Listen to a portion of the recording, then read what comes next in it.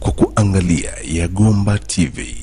Ninakufungulia ulimwengu wa ujasiriamali online.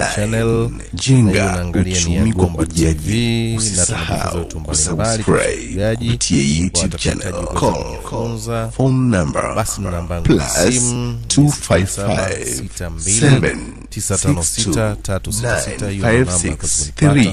Na tutaweza kufundishana vizuri tu namna ya kuweza kufuga kuku kufundishana kuhusu magonjwa kuhusu dawa kuhusu tuwafugaje na vile vile pia kuna huduma ya kututolesha pia huwa nafundisha kupitia online kwa njia ya whatsapp ama imo ama email naweza kutumia video hiyo ukajifunza namna ya kutengeneza incubator utotoleshe mayai yako wewe mwenyewe na kuna utaratibu wangu ukipenda kujifunza ndo hivyo sema hakikisha tu ni kwamba kwa wale ambao wanahitaji kujifunza hakikisha kama namba wanatafuta wanatafuta namba hii ambayo nahitaji ambayo ni sifuri saba sita mbili tisa tano sita tatu sita sita.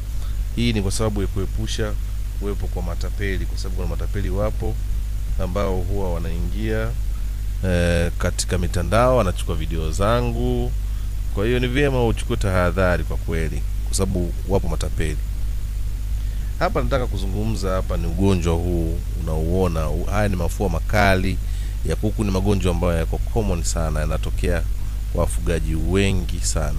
Sasa huu ni ugonjwa wa mafua makali anasema infectious coresia yeah, mafua ya kuku ambayo haya inaenda kuathiri mfumo wa upumuaji na hii kwa kweli huwa napata ndege wa aina mbalimbali bata kuku uh, njiwa mwewe kunguru na kadhalika.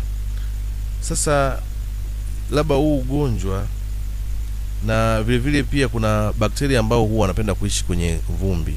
Kwao wakikaa humo na kivuta hewa hiyo basi inaweza kapelekea matatizo haya yakaweza kutokea sasa ugonjwa huu kuna namna unaweza ukaenea kwa kutoka kwa ndege mmoja kwenda mwingine. Kwa mfano kwa njia ya hewa au chakula chakula pamoja au maji wanao- wanaochangia pamoja ni kushare wanaweza kapata maambukizi haya. Lakini kuna dalili kubwa sana zipo za mafua. Kwa mfano kutoka na makamasi puani na mdomoni na pia anaweza kuwa anapumua kwa shida sana kama unavyoona katika video hii utaona kuku huyu anapumua kwa shida sana. Lakini kuna kuvimba kuzunguka jicho jicho lake linakuwa limevimba na linazunguka katika ule mzunguko wake wa jicho kwa pembeni au yote mawili kwa pamoja yanaweza yakakutana ukaweza kuonekana katika dalili hizo.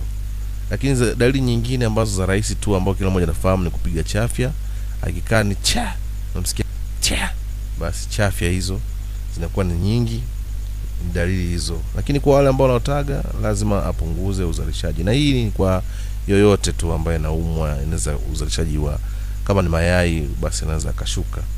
Lakini pia kwa wale ambao wanafanya biashara kwa ajili ya kuweza ku, kwa ajili ya nyama vilevile anaweza akapungua uzito kwa sababu hatuweza kula vizuri kwa hiyo inakuwa ni hasara. Kwa ni vyema tuweze kuchukua tahadhari na tutibu kuku wetu. Kwa hiyo kuna dawa mbalimbali ambazo unaweza katumia kuna baadhi ya watu huwa wanatumia dawa unaweza katumia dawa dawa dawa dawa lakini mwisho wa siku hakuna matokeo ya aina yoyote dawa ziko tofauti tofauti na makampuni tofauti lakini vile vile pia mi na somo huwa ninalo la namna ya kuweza kutengeneza dawa za miti shamba ambao of course hizo miti tuko nazo tunaishi nazo lakini ni dawa wengi wafahamu. kwa ukipenda kujifunza hivyo vitu funza namna kuweza kuwatibu magonjwa mbalimbali sio mafua tu Ehe. sasa tunafanyeje na vitu kama hivyo haya ni mambo ambayo huwa tunazungumza pamoja kwa wanaopenda 0762956366 na asante sana kuweza kuangalia Yagomba TV bye bye see you next time kwa kuangalia Yagomba TV. Ninakufungulia ulimwengu wa ujasiriamali online. Jenga uchumi kwa kujiajiri. Usisahau kusubscribe kupitia YouTube channel. Call, call, phone number plus 255 762 956 366